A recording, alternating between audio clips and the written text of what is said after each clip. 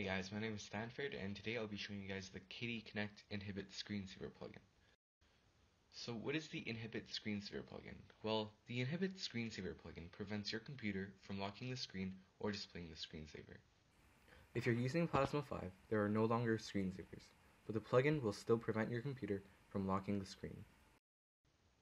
Why should I use it? This plugin can prevent those annoying situations where your computer automatically locks or goes into the screensaver.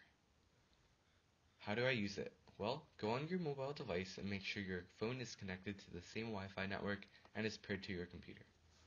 Next, make sure that you have the plugin enabled in your KDE Connect settings. You can check by clicking the Start menu and typing in KDE Connect. And click on your device and making sure that the Inhibit Screensaver plugin is enabled. After that's checked, you're good to go. That's the Inhibit Screensaver plugin on KDE Connect, and thanks for watching.